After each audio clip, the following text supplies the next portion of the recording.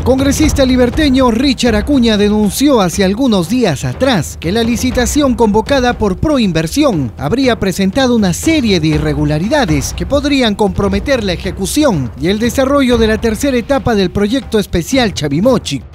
El legislador reveló que el consorcio CECEL Tractebel, conformado por las empresas CECEL Sociedad Anónima, Lemel Ingeniería SA y la Meyer International, ganadora del proceso de licitación, convocado para la supervisión de las obligaciones técnicas y económicas del concesionario de las obras hidráulicas de Chavimochi, tiene una aparente vinculación con el consorcio Grañe Montero y Odebrecht, encargados de ejecutar la mencionada obra. Esto en términos legales representaría una incompatibilidad la denuncia del parlamentario ha generado preocupación en el gobierno regional de La Libertad. El vicegobernador Luis Valdés se pronunció sobre esta denuncia. Lo que denuncia el congresista, que me parece no solamente eh, legal, sino racional, lógico, salvaguardando los intereses de los liberteños y también de los peruanos, es que nadie que tiene un vínculo con una empresa ejecutora puede fungir o servir de supervisor o hacer la supervisión de una obra, por obvias razones, ¿correcto?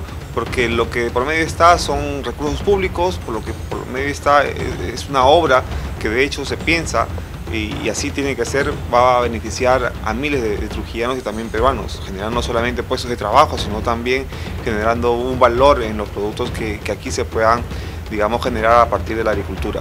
Entonces, esta actividad de fiscalización y este indicio de, corrupción, como él lo ha llamado, eh, tiene que a todos ponernos atentos. De hecho, de por sí ya existe para nosotros un favorecimiento, ya, ya existe una, digamos, algo ambiguo, por lo menos oscuro, que investigar, ¿correcto? Porque de acuerdo a ley, ninguna empresa que tenga relación con un ente ejecutor puede hacer las veces de, de, supervisor. Para el abogado especialista en contrataciones del Estado Jaime Chen, la ley prohíbe cualquier tipo de vínculo entre el ejecutante y la empresa fiscalizadora. Pero eh, por otro lado, tenemos que el artículo 4 de la misma ley, que se basa en lo que es principio de la contratación pública, el literal B establece eh, taxativamente lo que es el principio de moralidad. Y dentro del principio de moralidad, pues estamos enmarcados dentro de la legalidad, transparencia, probidad. Entonces, por ese extremo, eh, sí se estaría incumpliendo la norma de contrataciones y sería una causal efectiva para declarar una nulidad de contrato. El consorcio Río Santa, integrado por las empresas Graña y Montero y Odebrecht, no solo tienen a cargo la ejecución de las obras en la tercera etapa de este proyecto, además se han adjudicado la administración de la primera, segunda y tercera etapa de Chavimochi, lo que en pocas palabras significa manejar casi mil millones de dólares. De inmediato hemos pedido un informe a Proinversión, que es un ente que depende del Ministerio de Economía, para que nos informe, de hecho, qué es lo que ha pasado y si que efectivamente, si es que efectivamente existe algún tipo de relación con Galli Montero y Oderich. ¿no? Hoy día todos conocemos que Oderich pues tiene algunos vínculos no muy claros, por lo menos con gobiernos anteriores a nivel nacional y, por qué no también decirlo de repente a nivel regional y eso tiene que ponernos en, alerta, en alerta, en alerta máxima porque los peruanos y los libertaños ya estamos cansados de, los actos de corrupción, se han visto a todo nivel en, diversos gobiernos locales, gobiernos regionales, también gobiernos nacionales, no solamente aquí en el Perú, sino también en el extranjero. Y hoy que Odebrecht ha demostrado internacionalmente sus malas prácticas, pues tenemos que tener un especial cuidado. ¿no?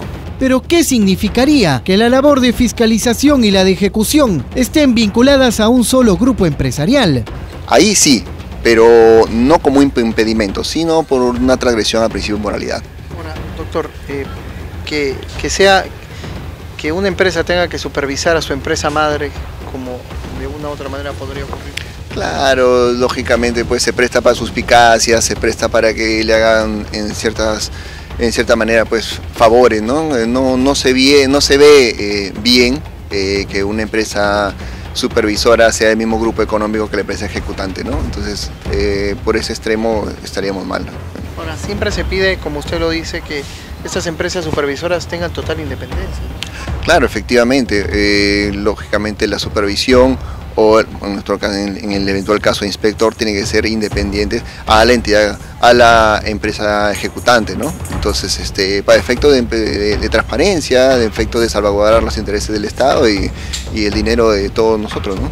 El pasado 10 de junio, el Comité de Adjudicaciones de Proinversión, presidido por Evelyn Zárate Jiménez, adjudicó la supervisión de las obligaciones técnicas económicas y financieras del concesionario de las obras hidráulicas mayores del proyecto especial Chavimochic al consorcio Cecel Tractebel, que recibirá del Estado casi 26 millones de soles por realizar esta labor, la misma que estaría bajo serio cuestionamiento por su cercanía con Grañe Montero y Odebrecht.